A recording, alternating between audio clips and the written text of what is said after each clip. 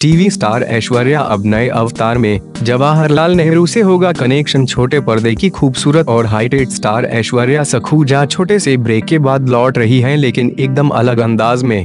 वो अब राजनीति से जुड़े अहम किरदार में नज़र आएँगी। खबर है कि छोटे पर्दे पर जल्द ही क्विक सिल्वर आज़ाद नाम का शो शुरू होने जा रहा है।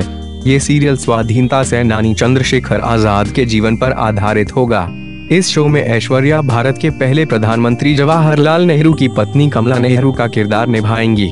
ऐश्वर्या को टीवी शो सास बिना ससुराल से ज़बरदस्त लोकप्रियता मिली थी, जिसमें वो ऐसे घर की बहू थी जिसमें एक भी औरत नहीं थी। कुछ समय पहले ऐश्वर्या कॉमेडी शो त्रिदेविया में सीक्रेट एजेंट के रोल में थी।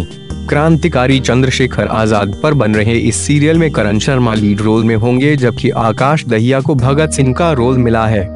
अनुराग कश्यप की गैंग्स ऑफ़ वासेपुर से फ़िल्म में डेब्यू करने वाले अक्ष सिन्हा इस शो में काकोरी कांड के अहम हिस्सा रहे। क्रांतिकारी राम प्रसाद बिस्मिल बनेंगे। चंद्रशेखर आज़ाद के 25 साल के जीवन पर करीब तीन साल तक रिसर्च करने के बाद बनाया जा रहा ये सीरियल करीब एक एपिसोड का होगा। आवाज़ की दुनिया के जाने माने नाम अमीन सयानी को उस जज की भूमिका दी गई है। जिन्होंने आज़ाद को सजा सुनाई थी, लेकिन अंग्रेज़ों के हाथ में आने से पहले ही आज़ाद ने इलाहाबाद के एक पार्क में खुद को गोली मार ली थी।